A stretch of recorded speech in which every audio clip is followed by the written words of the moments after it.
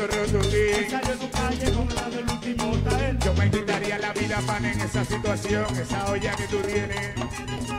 Tú naciste sin ni uno y sin ni uno quedará. Y el papá del mambo en el 2014 te va a dejar atrás. ¡Vamos ya! Oye, la leyenda negra viene rompiendo.